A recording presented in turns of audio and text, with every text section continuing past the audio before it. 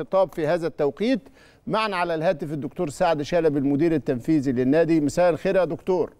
مساء الخير يا أستاذ إبراهيم ومساء الخير يا باشمهندس عادل يا دكتور ازي حضرتك؟ ازي حضرتك يا كابتن؟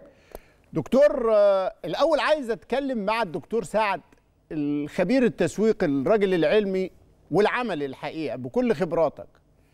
أهمية الجمهور كعنصر بعيدا عن مطلب الأهلي وخطابه اللي هنجيله. أهمية الجمهور في المكون العام لصناعة الكورة إيه؟ يعني خلينا يا أستاذ إبراهيم عشان برضو الناس تبقى واخدة بالها يمكن أنا هقول بعض الأرقام اللي هي خاصة بجدول الدوري المصري والجمهور والحضور الجماهيري في الدوري المصري هذا العام اللي انتهت آخر مباراة في 3 8 أعتقد إن الأستاذ الفاضل الأستاذ محمد شبانة في الحقيقة أعلى عن آه، عدد الحضور الجماهيري في مباريات الدوري المصري اللي هي كل فرقة ليها 17 مباراة لما تضربهم في عدد اجمالي 18 فريق اللي موجودين في الدوري. النادي الأهلي جاء في المقدمة ب 78544 آه، مشاهد.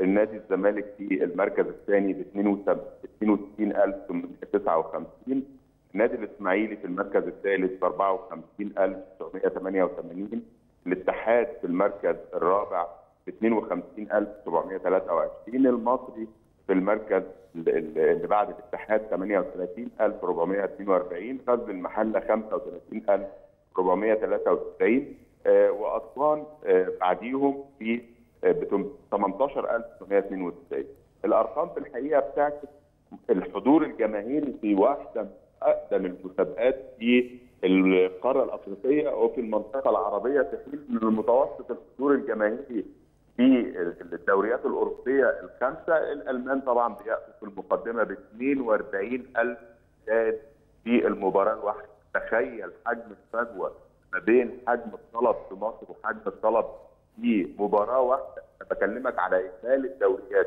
في حين إن في قوة السوق موجودة داخل الدوري المصري. فبالدليل على كده إيه؟ خلينا نتكلم لغة الأرقام. خلينا نقول إن النادي الأهلي لما طلب حضور جماهيري في مباريات ال- الأفريقية. كان في 50000 مشاهد. كان الاستاد ممتلئ عن آخره ب 50000 مشاهد. ده بيعكس إن عندك حجم طلب فعلي موجود داخل السوق المصري. آه، مش بس للنادي الأهلي وهنا ده برضه بيعكس آه، رؤية النادي الأهلي مش بصالح النادي الأهلي ولكن صالح صناعة كرة القدم المصرية لأنه الجمهور هيظل مؤثر الاكبر قوه مش في ايرادات يوم المباراة. يعني إحنا عندنا ايرادات يوم المباراة اللي هي متمثلة في تذاكر المباريات، متمثلة في التيشيرت اللي بيتباع، متمثلة في ال- ال- ال- الاكتيفيشن اللي بيتم من الرعاة اللي موجودين داخل المباراة في يوم المباراة، كل ده بينعكس على الايرادات بتاعت صناعة كرة القدم. النهارده كمان المنطقة اللي حوالين الناس بقى فيها حجم طلب موجود في المباريات بتاعتها سواء في المملكة المغربية الشقيقة في المملكة العربية السعودية الشقيقة. أيضا عندك الدوري التونسي عندك الدوري آه، الجزائري وده بيؤدي إلى حركة اللاعبين في الأسواق دي لأن اللاعبين بتروح للسوق اللي فيه حجم طلب متنامي لأن اللعيبة هي كمان ليها طلب. يعني إيه لها طلب؟ عشان الناس بس اللي معانا المشاهدين الجماهير اللعيبة عايزة جمهور يشجعها ويحفزها عشان تبدع في مهاراتها وتقدر الناس دي تبقى متحمسة ليها. ده مش بس كده. الكورة كلها على بعضها إحنا عدنا بنسميها منصة بلاتفورم. الشبكة أو المنصة دي عليها ناس كتير قوي موجودين على المنصة. الجمهور في القلب لو أنا لو الجمهور المشاهدين الكرام معانا بي يعني بيتخيلوا معانا في منصة موجودة الجمهور موجود في قلبها الرعاة موجودين في الناحية الشمال البث في الوسائل الإعلام موجودة في الناحية اليمين. كمان عندك الموردين الرسميين للملابس موجودين فوق في مربع كده فوق وأيضا اللعيبة موجودين تحت محتاجين حاجات آه، رواتب محتاجين فلوس أيضا للتعاقدات. الدوائر دي كلها على البلاتفورم عمالة تشتغل على حاجة واحدة بس الجمهور. وبعدين لما أنت تتخيل الاستاد مليان بيضغط على وسائل البث معناها إنك تقدر تجيب قيم عالية من وسائل البث.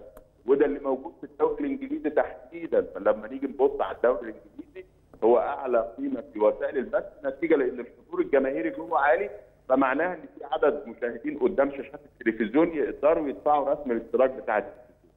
الرعاة نفسهم هم الرعاة عايزين إيه؟ عايزين الجمهور يشوف العلامة التجارية بتاعتهم فمعناها إن كل ما كان الاستاد مليان كل ما كان في معدلات رؤية للعلامة التجارية كل ما كانت المدفوعات طب ده هل ده كان في تأثير سلبي على كرة القدم المصرية؟ بالفعل كان في تأثير سلبي على كرة القدم المصرية لأن في عدد من الفرق الرياضية المصرية اللي مشاركة في بطولة الدوري العام هذا الموسم لم يكن عليها أي شكل من أشكال الرعاة لأن هو الرعاة بتقول ما فيش حجم طلب فإحنا مش هنقدر نرى هذه الفرق لأن ما لهاش حجم طلب موجود في السوق أو ما لهاش جمهور موجود في السوق فده بدأ التأثير ده يحصل فالجمهور قصة يجب أن يتم إدراكها بمفهومها الحقيقي لأنها روح الصناعة. هي روح الصناعة بتاعت كرة القدم. ما هياش بس إن واحد قطع تذكرة ودخل لا. وإحنا كل ده مرينا بيه في تجربة كورونا. لو حضراتكم تتخيلوا الدوريات الأوروبية كلها جميع الفرق الرياضية على الرغم إن هي احتفظت بقيم البث التلفزيوني واحتفظت بقيم حقوق الرعايه الا انها الميزانيات اللي طلعت كلها كانت فيها خسارة مالية كبيرة نتيجة للحضور الجماهيري وهدي مثل هنا في سنة من السنين المان يونايتد فاز ببطولة الدوري الإنجليزي. فخد قرار برفع سعر التذكرة. خد قرار برفع سعر التذكرة فلما جاي يبيع ال season ticket بدأ ال season في أول مباراة ولم يتم بيع 60% من قيمة التذاكر اللي موجودة في ال season. فخد قرار غريب جدا. قام عامل الأطفال اللي من سن ثلاث سنين لتسع سنين يدخلوا مجانا؟ يدخلوا مجانا. بس إن هو يخش مجانا هيبقى معاه ولي أمره عشان يدفع التذكرة. ورفض يعمل حاجتين. إنه ينزل في سعر التذكرة عشان ما ينخفضش قيمة المنتج بتاع بتاع المان يونايتد. وفي نفس الوقت لا تبدو المدرجات خالية فمعناها إن في تراجع في القيمة السوقية للمان يونايتد.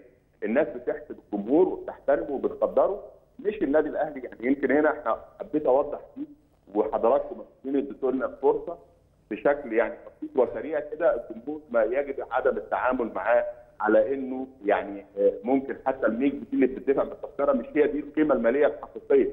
القيمة المالية متأثرة في البث ولذلك إحنا عندنا معاناة على السوشيال ميديا كمان التفاعل ده الدايرة دي ما بتكملش. ما بنقدرش نكملها على السوشيال ميديا ودي عايزة وقت شوية إزاي نقدر نوضحها. لكن يجب التعامل مع ملف الجمهور بعناية شديدة إن في مصر في الحقيقة هتتحول مرة ثانية لسوق مصب لسوق منبع يعني إيه؟ مصر طول عمرها بالنسبة للدول العربية والقارة الأفريقية سوق منبع يعني المشاهدين في الدول العربية وفي القارة الأفريقية يتابعون كرة القدم المصرية. طول ما فيش المدرجات ماليه بالجمهور مصر مش هتبقى منبع هتتحول لسوق مصب يعني الدوريات الأخرى تبدأ تبيع فيها. وده حصل بالفعل بدون يعني تسمية.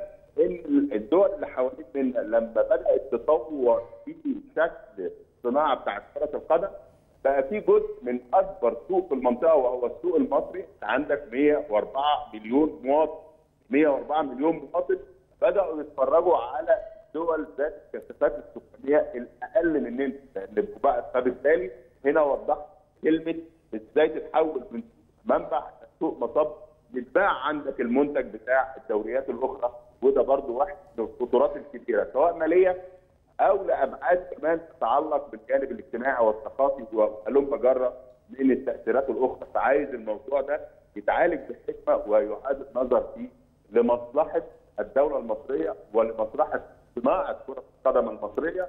وأهم حاجة كمان عندنا بدأت تبقى يمكن الكابتن عدي كان لسه بيتكلم فيها الموهبة، الموهبة الفكرة دي كلها قايمة على الموهبة اللي بتمتع الجماهير دي، انت كمان هيبقى في عزوف عن ممارسة كرة القدم وإحنا يمكن شايفين المشروع القومي الكبير اللي تحت رعاية السيد الرئيس على إنك إزاي تكتشف مواقف رياضية عشان تقدر تعمل منتجين جدد لصناعة كرة القدم يبقوا زي محمد صلاح يبقوا زي اللعيبة الكبار. آخر حاجة لما أنا يمكن عندي خمس ست ابحاث عن الدوريات الكبرى تأثير الحضور الجماهيري عليها إزاي وبيأثر على حجم الطلب. ليه الدوري الإنجليزي؟ لأن تلاقينا إن في علاقة ما بين الحضور الجماهيري وارتفاع مستويات البيع في حقوق البث وحقوق الرعايه، يعني كل ما كان عندك حضور جماهيري أكثر كل ما كان عندك قيمه البث أعلى كل ما كان عندك قيمه الرعاية أعلى، يمكن ليفربول على سبيل المثال هو واحد دلوقتي من الأندية اللي لها حجم الطاقه في الأسواق العربية نتيجة جماهيريه محمد صلاح. النهارده هو ارتفعت عائداته من حقوق البث التلفزيوني نتيجة طبعا للدورات الأوروبية وقصه كده كبيرة وأيضا قيم حقوق الرعاية وأيضا قيم اللي جاية من الترخيص بالعلامه التجارية من الشركات الموردة للملابس الرياضية. قصة كبيرة قصة محتاجة فهلوة ومحتاجة أنت مش مهم الجمهور مش مهم لا الجمهور له آه هو قلب هذه الصناعه لأن ما فيش صناعه بدون طلب كل ما بتشوف المدرجات في دول أخرى. خاليه معناها إن المنتج ده ليس له معناها أنت بتصرف فلوس على الأرض. من الموضوع ببساطة كده. معناها إن كمان ما عندكش نمو اقتصادي الاقتصاد بتاع كرة القدم لأنها هي واحد من المكونات الاقتصادية الرئيسية اللي بتأثر في النمو الاقتصادي العام والاقتصاد الكلي للدولة. فالموضوع كبير مش بسيط. طيب الموضوع الموضوع باهميته يا دكتور وأهمية عنصر الجمهور في صناعة الكورة وفي ظل التطورات الإقليمية اللي حاصلة دلوقتي في صناعة الكورة. النادي الأهلي اخذ هذه الخطوة في مطالبة اتحاد الكورة والرابطة بالساعة الكاملة. إيه متابعات هذا المطلب؟ يعني حضرتك إحنا بالفعل خاطبنا الاتحاد المصري لكرة القدم وده برضه بيعكس قيمة مهمة النادي الأهلي دايما بيتبعها، النادي الأهلي دايما بيروح لصاحب الشأن وخليني برضه هنا في الحقيقة أتوجه بالشكر الجزيل لكل المؤسسات الوطنية المصرية على دعمها ومساندتها لطلبات النادي الأهلي في الفترة الماضية. وأعتقد إن الجمهور خلينا برضه نتكلم في الجمهور، الجمهور كان له تأثير إيجابي كبير في فوز النادي الأهلي بالبطولة الأفريقية. لو نتخيل كده مراحل في الوقت الحرج لما كان عندنا مباراة النادي الهلال السوداني. آه. وكان في دعم من مؤسسات الدولة المصرية لحضور 50000 متفرج داخل المباراة كان له تأثير إيجابي على أداء اللاعبين وكان نتيجة المباراة أكثر من إيجابية كمان بعدد كبير من الأهداف. أعتقد ده برضه سبب تأثير مباشر للجمهور. لما حضر في مباراة الوداد المغربي الشقيق أيضا في القاهرة على الرغم من إن كانت النتيجة برضو البعض كان بيعتبرها صعبة 2-1 لكن الجمهور لعب دوره أيضا وتاثيره وهنا يبان العلاقة ما بين الجمهور حضور الجمهور في المدرجات والتأثير الإيجابي لنتيجة المباريات. لكن وعشان كده أنا باخد الفرصة دي بشكر كل المؤسسات سواء كانت وزارة الداخلية سواء كانت شركة تذكرتي سواء كانت شركة السادات هيئة استاد القاهرة. وبالتالي النادي الأهلي صاحب الشأن وصاحب المصلحة العليا. يدير صناعة كرة القدم في مصر هو الاتحاد المصري لكرة القدم وكان توجيه الخطاب للاتحاد أن يطلع مهامه ليس لصالح النادي الأهلي ولكن الأرقام الحقيقية اللي أنا عرضتها على حضراتكم لمسابقة الدوري المصري هذا العام في حدود الأرقام المسموح بها وهو 3000 متفرج كان النادي الأهلي في صدر الأندية أيضا باكبر عدد من الحضور الجماهيري وعلى الرغم من ذلك النادي الأهلي بيطالب بالحضور الجماهيري لكل الأندية المصرية كمان في حتة إحنا مش واخدين بالنا منها إن أغلب الأندية اللي موجودة في مسابقة الدوري العام محتاجة تخلق حجم طلب على الرياضة عشان تزيد قيمتها. لأن في أندية لسه ما بتتمتعش بالقاعدة الجماهيرية الكبيرة وما عندهاش جهود نتيجة لأن هي شايفة الحضور عدم الحضور الجماهيري ده أصبح قرار فبالتالي ما بتبذلش أي جهود تسويقيه في إن هي تزود قاعدة الجماهير بتاعها لأن ده هينعكس على مجموعة من الحاجات، هينعكس على أداء النادي هينعكس أيضا على أداء اللاعبين في الملعب، هينعكس على القيمة السوقيه لكل الأندية، هينعكس على الأزمات المالية اللي بدأ البعض يشتكي منها، يمكن الكابتن عدلي كان بيتكلم فيها دلوقتي وبيقول فيها إن أنت كمان لازم يبقى عندك مجهود أنت بتبذله كقائد لنادي.